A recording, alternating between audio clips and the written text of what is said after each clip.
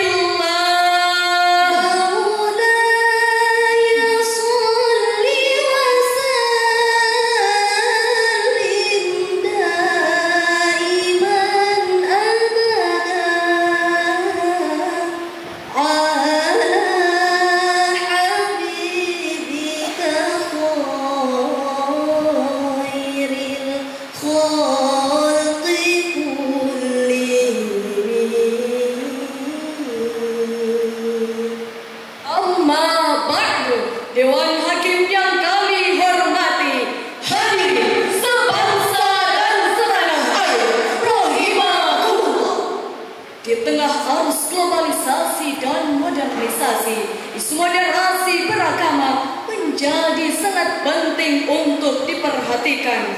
Kita melihat begitu banyak informasi dan ajaran keagamaan yang tersebar di dunia maya.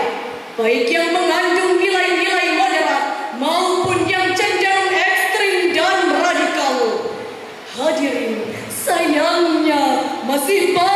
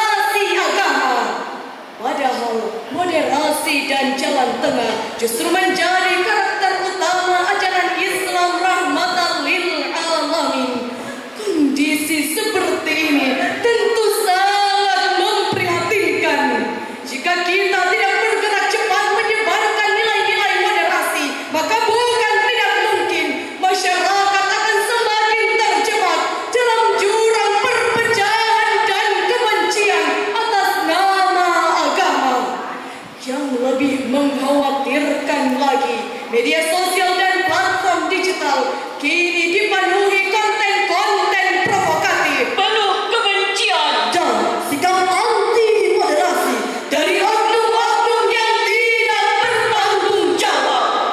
Parahnya, konten-konten tersebut kerap dikemas secara masif dan memikat sehingga dengan mudah menggiring opini publik.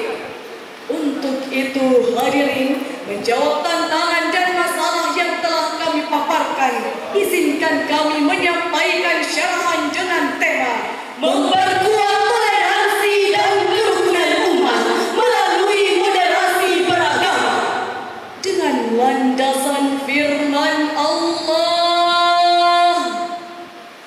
dalam Quran surah Al-Isra ayat 45 yang akan mengalun indah di bibir Korea kami sebagai berikut. أعوذ بالله من الشيطان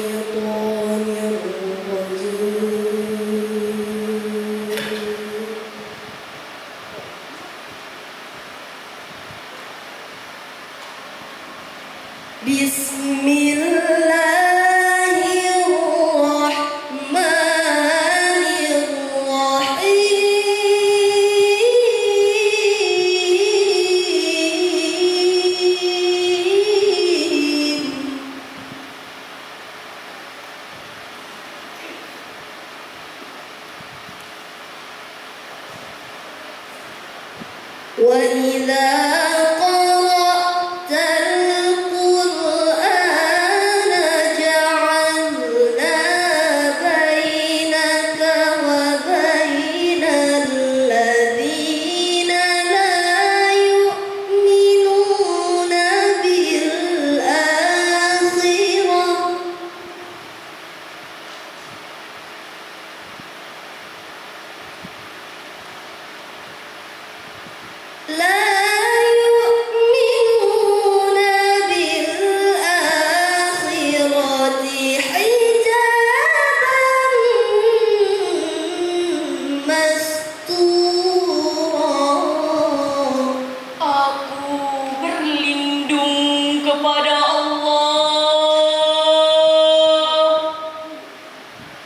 dari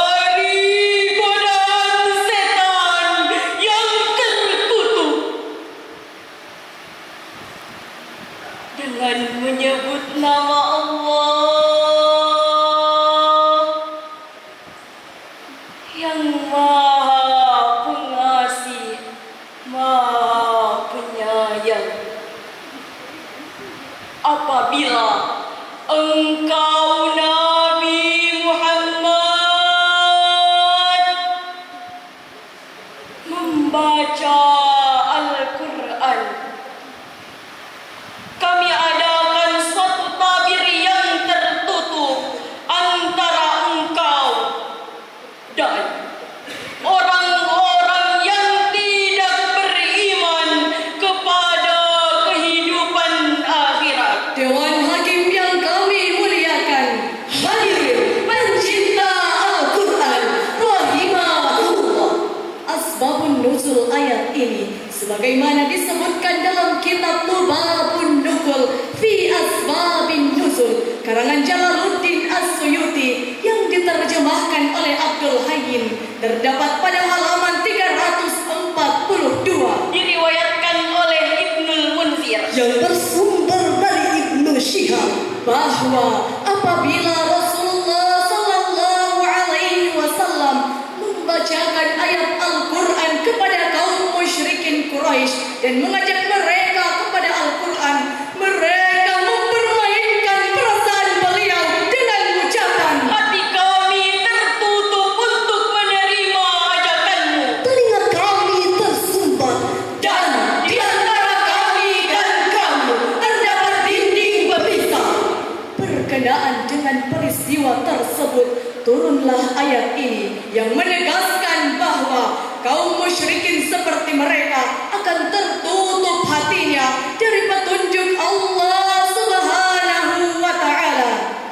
Dari potongan ayat wa idza qara'ta kata qara'a merupakan bentuk lafaz fi'lum madi di mana bentuk amar dari fi'il ini adalah ikra. Menurut Andre Kurutta Quraisyhab, kata ikra mempunyai arti membaca, Menelaah. menyampaikan dan sebagainya. Karena objek yang dibaca bersifat umum, maka objek kata tersebut mencakup segala baik ia merupakan bacaan suci yang bersumber dari Tuhan maupun bukan. Baik ia menyangkut ayat-ayat yang tertulis maupun yang tidak tertulis. Baik yang merupakan objek material maupun non material, bahkan objek teknologi ataupun non teknologi. Dalam konteks penguatan moderasi beragama melalui platform digital, ayat ini menjadi landasan fundamental ikro. Di mana lafaz ikro itu sendiri mengandung dimensi moderat, mencakup semua objek bacaan. Salah satu objek yang harus dikaji adalah munculnya fenomena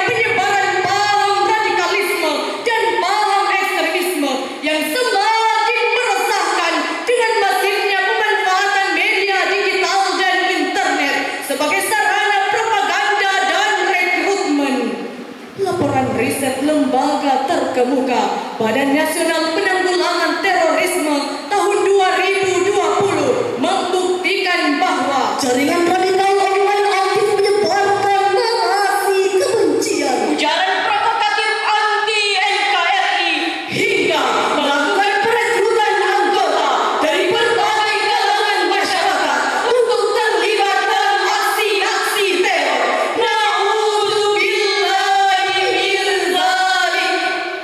Hadirin, mari kita selami firman Allah dalam Quran Surah Ali Imran ayat 104 sebagai solusi kontra narasi terhadap maraknya konten-konten kekerasan, radikalisme, dan ekstremisme. Welcome.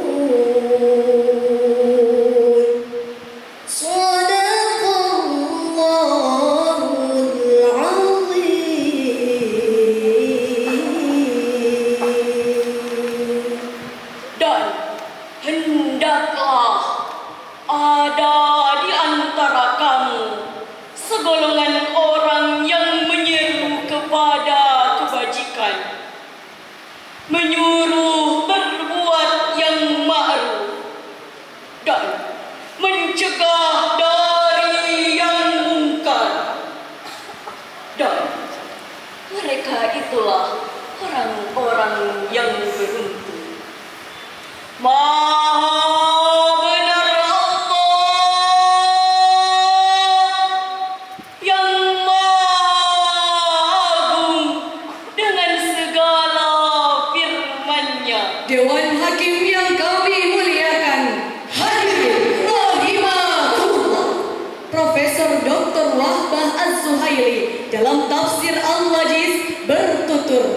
dan hendaklah ada di antara kamu wahai orang-orang mukmin segolongan umat yang menyeru kepada kebaikan dengan mengajarkan dan menyuruh kepada kebaikan. Kata al-khair adalah segala yang berkaitan dengan kebaikan di dunia dan akhirat. Kata al-ma'ruf adalah kebaikan yang sesuai dengan syariat dan akal sehat serta mencegah perbuatan mungkar. Sedangkan kata al-munkar yaitu segala yang dianggap tidak boleh oleh syariat dan akal sehat. Mereka yang menyeru kepada kebaikan adalah orang-orang yang beruntung yang akan mendapatkan ridha Allah dan surganya.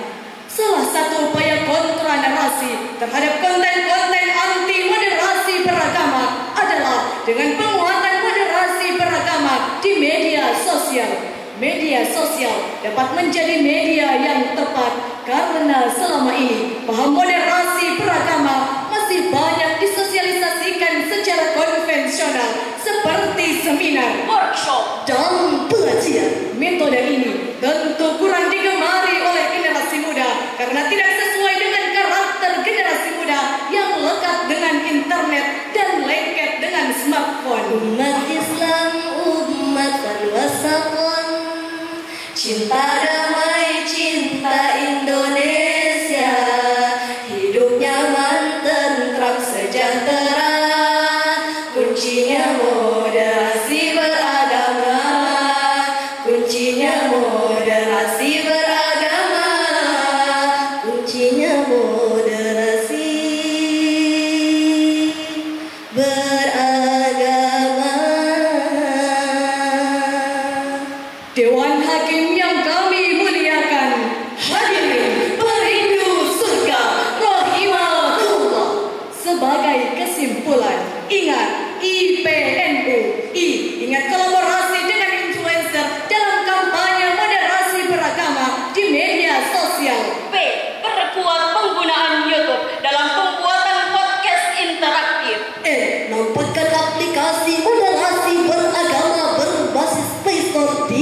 Сладкого.